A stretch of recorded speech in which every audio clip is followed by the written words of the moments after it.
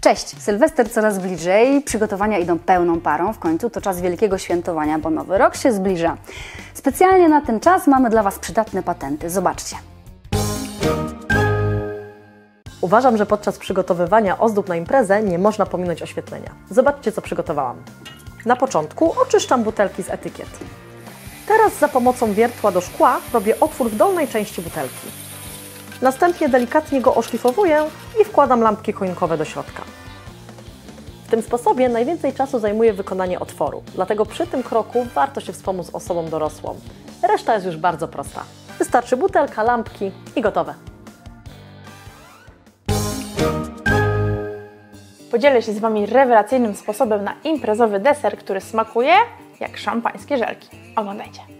50 g żelatyny zalewam 1 trzecią szklanki gorącej wody i rozpuszczam. 250 ml musującego wina mieszam z 250 ml soku gruszkowego i dodaję łyżkę miodu oraz żelatynę, po czym całość dokładnie mieszam. Teraz przelewam mieszankę do foremek i odstawiam do lodówki do stężenia.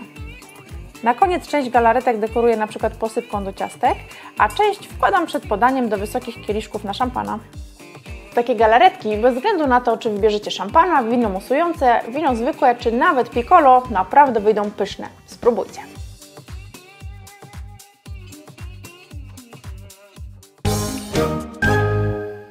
Cześć dziewczyny, niedługo jest Sylwester, dlatego postanowiłam zadbać o Wasze drineczki.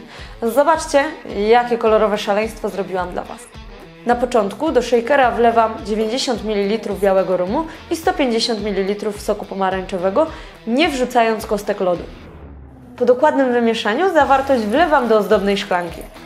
Następnie dodaję dwie łyżki grenadiny, która osiądzie na dnie. W osobnym naczynku mieszam 20 ml likieru Blue Curacao i 150 ml szampana. Następnie niebieską ciecz delikatnie wlewam do naczynia po odwróconej łyżeczce. Na koniec ozdabiam dla lepszego efektu i gotowe. To organizuję imprezę sylwestrową i chcę zaskoczyć swoich gości. Z takim drineczkiem na pewno mu się uda. Ale pamiętajcie, alkohol spożywamy mimo wszystko tylko po 18 roku życia.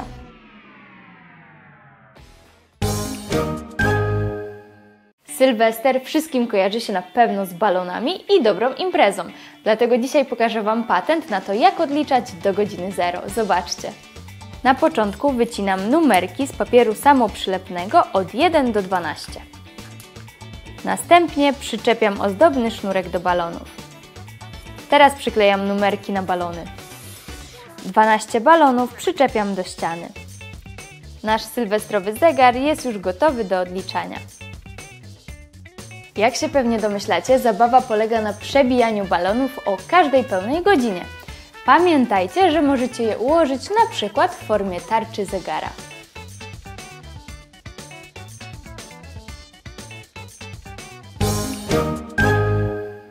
Pokażę Wam super prosty i szybki sposób na imprezową przekąskę w stylu chipsów o wyrazistym smaku, którą przygotujecie w kilkanaście minut.